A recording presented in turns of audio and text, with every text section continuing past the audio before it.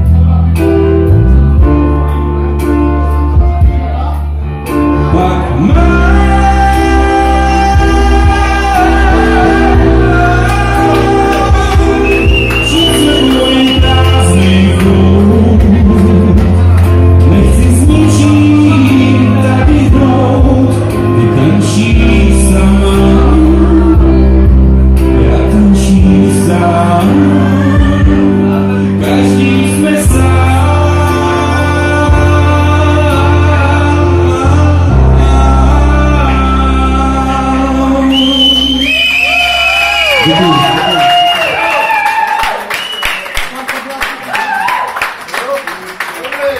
Jak byste ho slyšeli naživo, Petra?